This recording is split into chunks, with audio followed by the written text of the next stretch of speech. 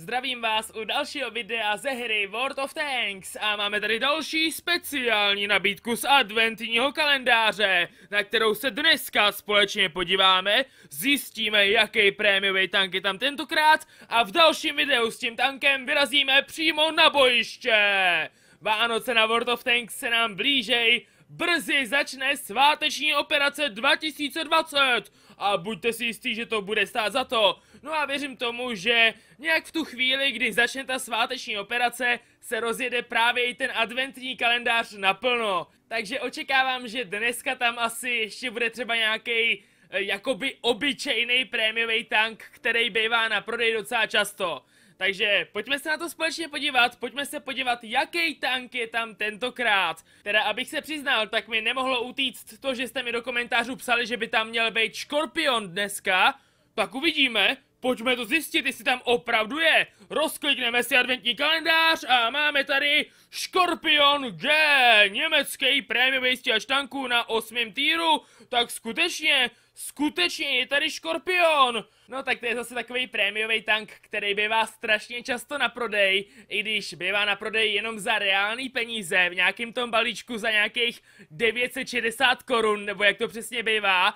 A teďka ho tady máme za zlaťáky, že jo? Takže jsem na to docela zvědavý, jako Škorpion zrovna, proč ne? Opět je to úplně jiný tank, než jaký jsme tady měli doteď. Zase to myslím samozřejmě tak, že nebyl tady zatím žádný stíhač, který by se hrál tak jako Škorpion. Byl tady vlastně Kanonen, že jo, ale to je přesný opak Škorpiona. Kanonen je na kempení, Škorpion je dobrý na útok, no a pak tu byl Tortoise, ale ten se hraje úplně na pancíř, takže taky úplně jinak než Škorpion. Teda zatím se mi ty nabídky docela líbějí, ale přeci jenom jsem malinka to zklamaný z toho, že ještě pořád tu nemáme žádný nový prémiový tank. Vždyť už je sedmýho a pořád ještě nic. Sedmýho je tu šestá speciální nabídka, že jo? No, pojďme se podívat za kolik zlaťáků teda Škorpiona můžeme koupit a jestli se to vyplatí. Takže koupit za zlaťáky a jakou cenu tady máme? 10 900 zlaťáků, no...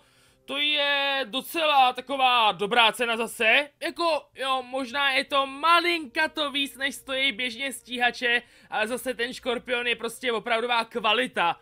Takže tady se vyplatí si těch pár zlaťáků připlatit navíc a jako tady tu cenu úplně chápu, jo. Škorpion je fakt výborný tank, protože on má sice papírový pancéřování a je velký, takže nemá takový maskování jako některý jiný stíhače, jo? Ale to jsou jediný jeho nevýhody. Jinak má ale výborný dělo se skvělou průbojností, poškozením 490 na ránu, má plně otočnou věž, zároveň to dělo nabíjí docela rychle, jako fakt, Škorpion je prostě taková jezdící korba s úžasným dělem, ale fakt úžasným. Tak, já si samozřejmě koupím zase za 300 zlaťáků, přibližně teda za 300 zlaťáků, ty mise jako vždycky, takže koupit. Jasně, už to tady máme stání přidána a samozřejmě máme i ty mise a tu posádku, takže potvrzuji a pojďme si ještě přijmout misi pro dnešní den misi z adventního kalendáře. Pojďme na to. Uvidíme, jaká mise tady bude tentokrát. Doufám, že je zase nějaká opravdu epická,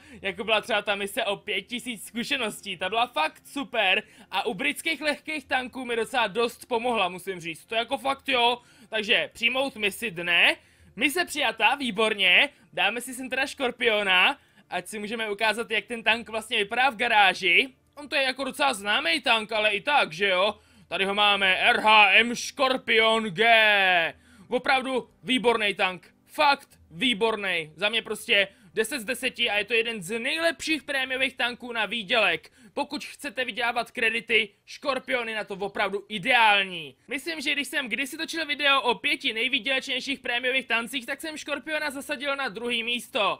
A tam je podle mě pořád. Jako opravdu na výdělek kreditů je prostě skvělý, ale to uvidíte sami v tom dalším videu. Nebojte, tentokrát to další video, kdy ten tank otestujeme na bojišti, snad vyjde trošku dřív. Přeci jenom mám teďka malinka to spoždění s těma videama, že jo? Některé videa vycházejí fakt jako docela pozdě. Už jste mi psali do komentářů, že konvy, vydávej ty videa s těma tankama dřív, ať se na ně můžu podívat a rozhodnout se, jestli ten tank si mám koupit a nebo ne.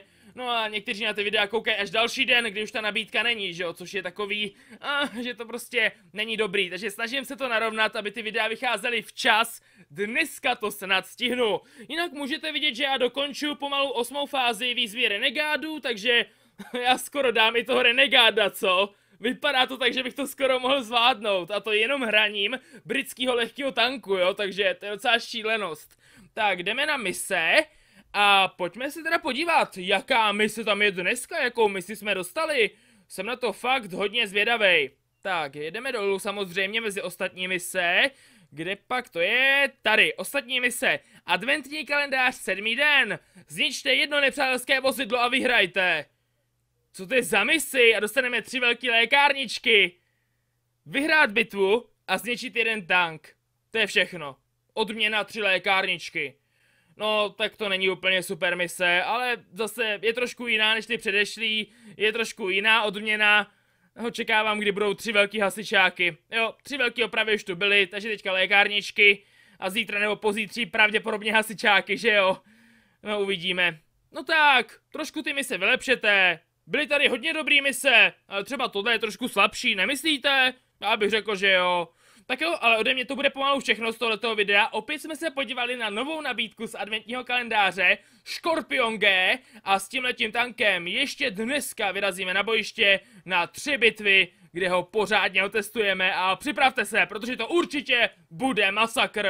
Já doufám, že se vám tohleto kratší video líbilo, protože pokud ano, tak ho ohodnoťte velkým palcem nahoru. Hoďte tam ten like, pokud byste mě chtěli podpořit, dejte odběr, anebo tohleto video můžete sdílet. Napište mi nějaký suprový komentáře a já se na vás budu těšit zase u nějakého dalšího videa. Takže zatím čau!